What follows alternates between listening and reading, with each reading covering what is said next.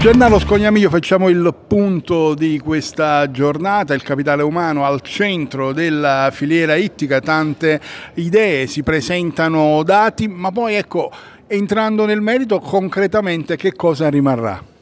E che cosa rimarrà? Credo che rimarrà probabilmente molto poco per il capitale umano, perché come dicevo il capitale umano è il pescatore o l'armatore o la tride perché il pescatore, l'armatore e l'imbarcato è sempre la stessa persona sulla maggior parte del nostro comparto mare, quindi quel famoso 52% di presenza di pescatori dovrebbe far parte di quello che è un concetto di filiera più ampio e di un'opportunità reale. Il capitale umano non può essere sacrificato in nome di una sostenibilità ambientale dove mette al primo posto la risorsa ittica e poi dopo le persone. Noi abbiamo chiesto anche in Commissione europea di, porre, di porsi questa domanda.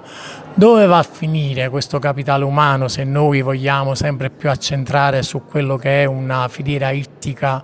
immaginata su quello che è l'importazione, perché l'80% è importazione. Se mi togli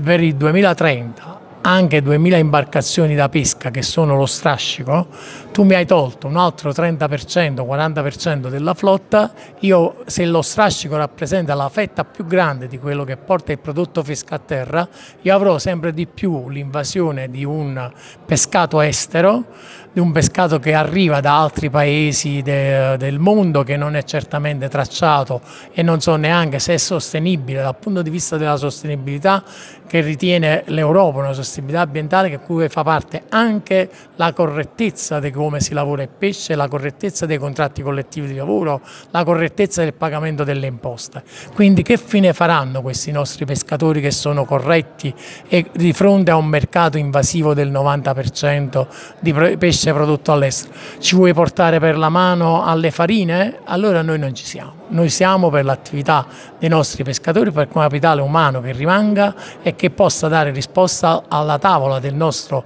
consumatore finale con un prodotto fresco e naturale. Ecco, a volte quando viene visto così dall'esterno, no, da, con gli occhi del consumatore, sembra quasi diciamo, di vivere in due mondi diversi. Diciamo. Uno quello che crea economia, eccetera, eccetera, ed un altro il nostro, quello al quale tu facevi riferimento, che diventa sempre più prodotto di nicchia, quindi per pochi con pochi numeri per pochi e, per co e, con pochi numeri perché in effetti i pescatori come la ristorazione, la ristorazione sta vivendo un momento diverso oggi, non c'è più il grosso banchetto fatto con il porzionato e quindi hai bisogno dell'acquacultura che ti crea la spigola di 300 grammi o l'orata di 300 grammi e dai mezza porzione a chiunque. Oggi il consumatore finale, eh, l'utente finale vuole un prodotto di qualità, il prodotto di qualità è dato dalla piccola pesca artigianale, è dato dal prodotto immediatamente reperibile vicino alla costa, quindi questa è la valorizzazione del capitale umano e la valorizzazione del cibo